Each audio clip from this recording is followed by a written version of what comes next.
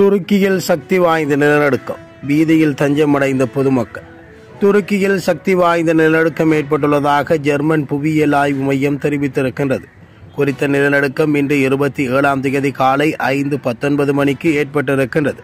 இந்நிலநடுக்கம் Richter அளவுகோலில் ஐந்து என்ற அளவில் பதிவாகி இருக்கின்றது. நிலநடுக்கத்தின் மையம் தரை மட்டத்திலிருந்து பத்து கிலோமீட்டர் ஆழத்தில் அமைந்திருப்பதாக தெரிவிக்கப்படுகின்றது. இந்த நிலையில் நிலநடுக்கத்தால் ஏற்பட்டுள்ள சேதங்களின் விவரங்கள் குறித்த தகவல் வெளியாகவில்லை என்றும் தெரிவிக்கப்படுகின்றது.